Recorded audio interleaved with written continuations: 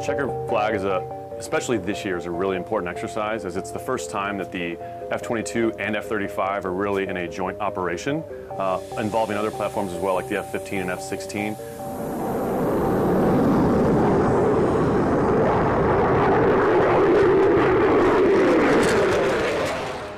Uh, but it's a unique year this year because the F-35 has just gained its initial uh, operational combat capability and we're able to plug and play all these different assets into one fight.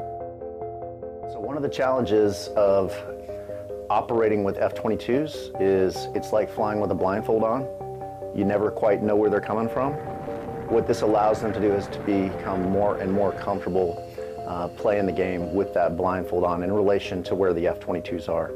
So we get to uh, build and execute contracts uh, which allow us to comfortably and effectively interoperate.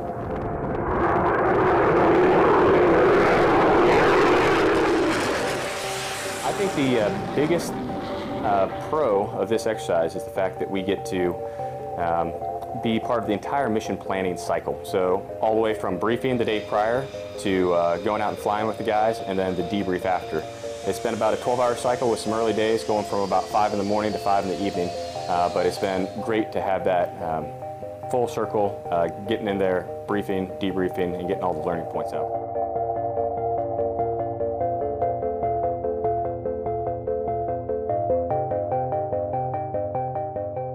This training has been uniquely important for me as I'm upgrading from the wingman uh, role uh, to a flight lead responsibility in the F-22. And what that normally means is just directing other F-22s around uh, either a two-ship or a four-ship.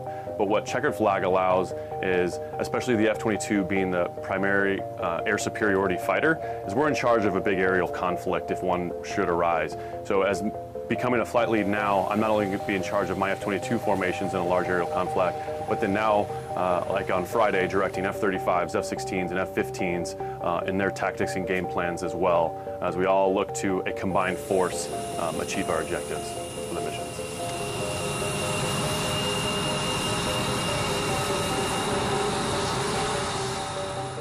the participants we have, we have uh, both uh, Strike Eagles, F-16s, F-22s, and then now with the F-35, we've got both fifth to fifth gen uh, integration as well as fifth to fourth with all our uh, premier fighter assets here uh, combined minus the F-15C. So uh, definitely a huge win for the air crew and the ground crews to work together with the newest piece of our Air Force going into the future.